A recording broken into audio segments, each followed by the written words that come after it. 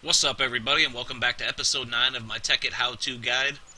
I dropped the beginner's guide from the title just because these aren't uh, beginner machines that we'll be making today.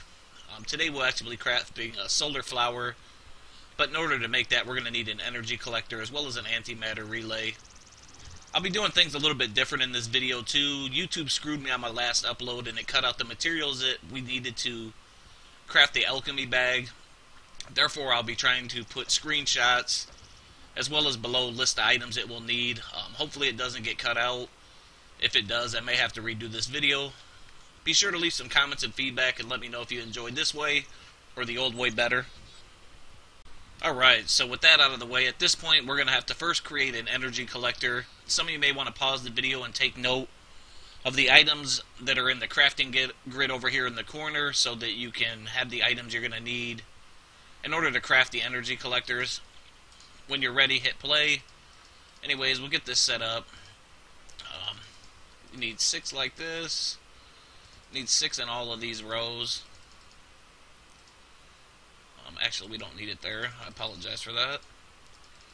Get these laid out. Now that we have that, our furnaces go down here.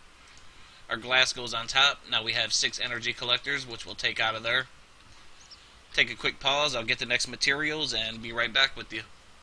Alright, so I'm back. Some of you, again, may want to take a quick pause. Pause the video at this point to take note of the things that'll be over here in the crafting grid. When you're ready, hit play.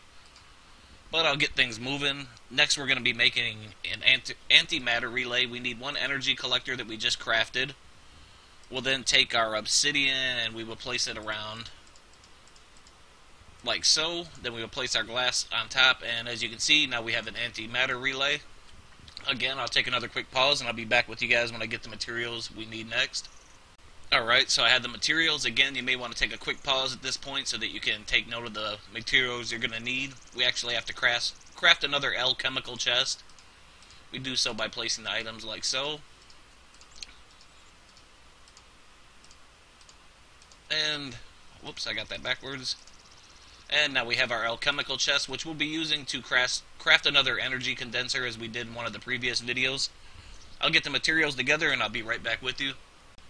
Okay, so now I'm back. Again, you may want to take note of the materials you're going to need in order to create the energy condenser, or you could go back and watch one of my previous videos where I crafted the energy condenser. But we'll place the items in here like so. Whoops. The diamonds go around it like this. And now we have our energy condenser. Um, next, we'll be crafting a solar flower. It's um, this is like a cheap version of it.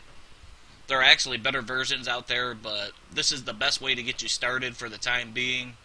And it's going to get you the most diamonds. Obviously, when you craft a solar flower, it'll produce diamonds for you. Different than this, it will actually uh, create diamonds out of thin air. It uh, uses the energy, like the sun, the sun's energy in order to craft diamonds, whereas over here in the energy condenser you use scrap materials, which gives you EMC and then makes diamonds for you.